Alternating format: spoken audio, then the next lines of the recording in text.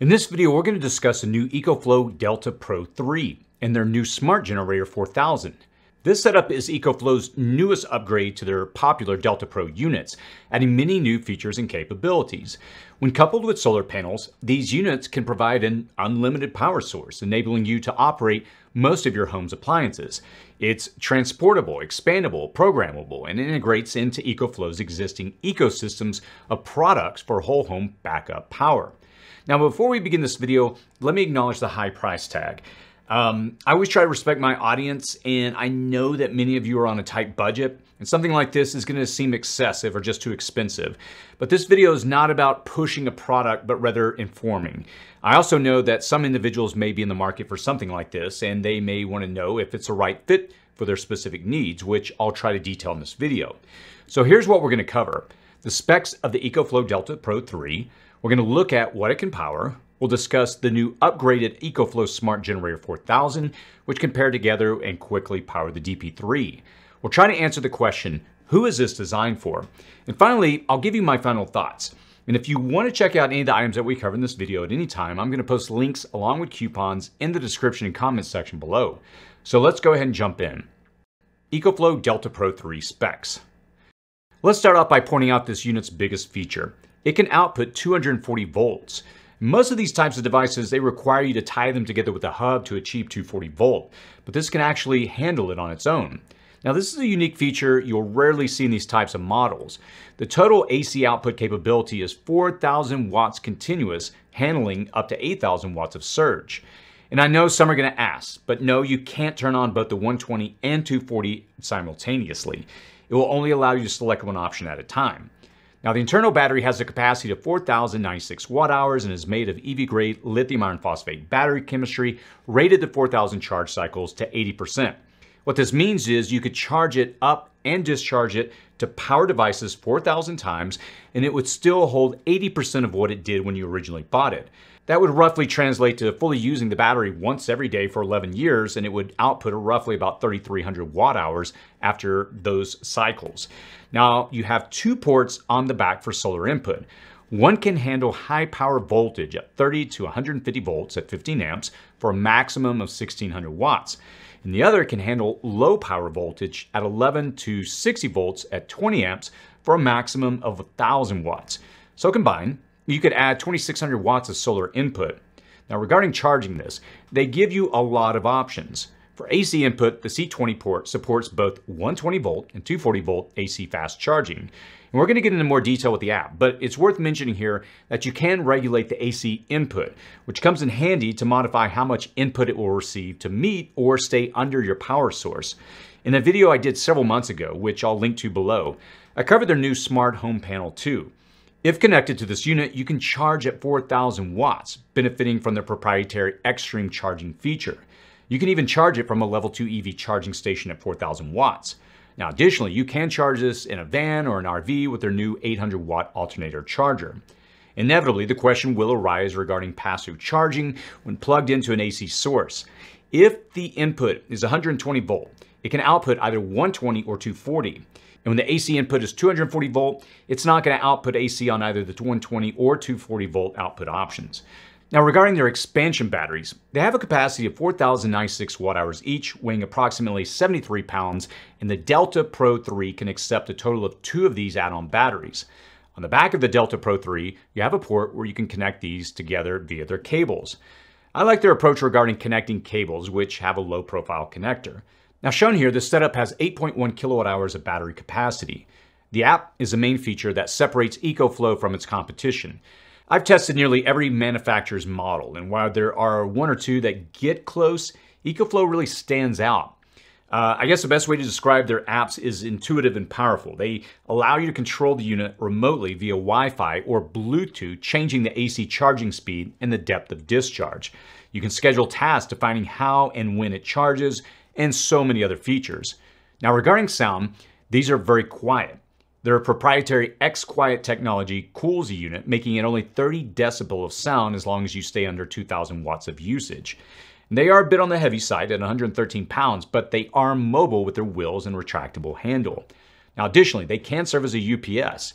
If you were to plug this into an AC source, such as your wall socket, and then plug in an electronic to the front AC output, if the power source from the wall socket goes down, this will switch over to the batteries in under 10 milliseconds. You can also actually connect up to three of these units to the smart home panel 2. And with the additional expansion batteries, you could achieve a capacity of 36 kilowatt hours at 12,000 watts of output when tied into their smart home panel 2. Now let me finish this section by pointing out that their original unit, the EcoFlow Delta Pro model, it's easily been one of my favorite units I've tested over the years. I have beaten, pushed, and just used it quite a lot, and it just keeps going. If this unit is anything like their previous model, you're gonna get a lot of good use out of it. It's also a great upgrade from that unit with the slightly larger capacitor and the 240 volt output. Capabilities. When it comes to capabilities, most viewers in my community are typically concerned about being able to power certain devices if the grid were to go down, maybe your refrigerator. But instead of just showing a bunch of random devices like I have in the past, such as hair dryers, which people point out in the comments is not a real practical use, let's instead focus on a tool that we created and take a different approach here in this video. What we did is we built a calculator that you can customize to add your own information, and it tells you what it can power and for how long. Now I'm gonna link to it below if you wanna check it out. So let's jump into the spreadsheet. Okay, as you see here, I've got my desktop pulled up. And what we're looking at is a calculator that we built based on all of the solar generators that we've tested in the last year. And we show how long they can power things, how much they can handle, efficiencies, all these kind of things. So what it does is it allows you to go in and test the devices that you want to power based on the abilities of this unit. And again, we put all this information in here. And let me show you how to use this. Now, to begin with, before you can use this, you have to go over to File, make a copy. And what you can do is copy this to your own Google Drive. You're not going to be able to edit this unless you make it a cop make a copy. All you need is a Gmail account to go in and you know copy this into your drive. Okay, so how do we use this? Well, if you look here on the right, you're going to see all these different models. We've got a lot. And if you look here in column, at least at the time of recording this video, AK and AL, we have the EcoFlow Delta Pro 3. Now up here, you see the running watts and the surge watts, and this shows how much it can output continuously, in this case running watts, and then the surge is 8,000. Now over here on this side, we have different devices that you may want to power. These are common devices. You can obviously go in and enter any of the device or uh, devices that you want or take any of these, change, do whatever you want. If you look at different devices that you may purchase, they'll usually list on the side how many watts that device needs to pull continuously to operate. If you're not familiar with this, I'll link to a video that we did a while back that goes into a lot more detail. But for now, what we did is we basically entered information that's kind of common that we hear a lot of people ask, well, can it power this? Can it power this? The most common of which is a refrigerator. So if you look here at row 17, we have a 18 cubic uh, foot refrigerator. Now, on average, if you were to run one of these for about one hour, it's gonna pull roughly about 200 watts. There's always gonna be variables that which impact that, but 200 is a good ballpark number. Now, that's for one hour. So what does this mean? We'll go back and change the values to see how this all works. If you scroll down to the bottom, and again, we've got AK as our column here. So let's scroll down. You can see down here uh, that, first of all, we did testing and we found this unit is 83% efficient on AC output, which is very, very common. Roughly low 80s is kind of the, the ballpark that we see all these performance. Some a little higher, some a little lower. So it's pretty much right down the middle. And what we see here is this shows the largest device we are running. In this case, because we're only running a refrigerator, it just shows that unit or that value. But it says, you know, total watts needed after running, you know, this, or we're going to pull out 200 watts. So what we'll see down here is that in order to output 200 watts of that device, what we're going to be left with is 3,875, or eight, I'm sorry, 3,855 watts. Okay, that may or may not mean anything to you. So let's get into actual using this tool because the values down here, uh, you're gonna see a lot more uh, feedback once you start changing these values. So let's say you have a 12 hour outage. I mean, you know, that can happen, 12 hours, all right? Well, now we just selected 1200, uh, I'm sorry, 12 hours for this refrigerator. And if we scroll down, again, column AK, we see that we have 1200 watts left. So we've used up a fair amount. Now that's assuming you don't have a solar, you know, any kind of solar panels or a gas generator to power this. So as you can see, it begins to show you quickly how much this can power and for how long.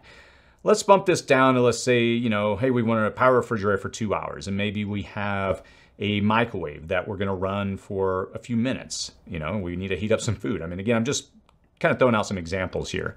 So again, using our example, column AK, if we scroll down, well, we have 3,553 uh, uh, watts left in capacity, watt hours, excuse me. So what this does is it quickly shows you how much it can power for how long. Now, if you see some of these devices like this one over here, the EcoFlow River 2, it would go into the negative for running those devices after that period of time. So what I would encourage you to do is just come around over here and just play with this calculator. Say, well, I need to run a space heater too. I want it for, you know, maybe two hours. Okay, well, great. Now we again come down to our calculator and, oops, I'm sorry, I forgot to, one of the things you also have to do is select the number of devices, in this case one. So you can see, wow, that really pulled a lot. Space heaters are very power intensive. So the more you play with this, it's going to show you. You can you can get a really quick understanding of, well, I can power this for this long, and if I change the value over here now, I can only power it this long. And again, if you have solar panels, you extend the life of the battery, or rather, you give more time, uh, you know, to be able to power things. Now, I also want to quickly showcase the 240 volt AC output capabilities by powering my EV, my electric vehicle. Now, shown here, I have the 240 volt plug connected to the car charger. And the maximum wattage output for the EcoFlow Delta Pro 3 is 4,000 watts. And I've got my car's charger set to 17 amps at 240 volts. So I'm outputting roughly 3,922 watts. So again, Check out the calculator that I covered a moment ago, and I'll link to it below, and you can really learn to understand how much this can power for how long. EcoFlow Smart Generator 4000, dual fuel.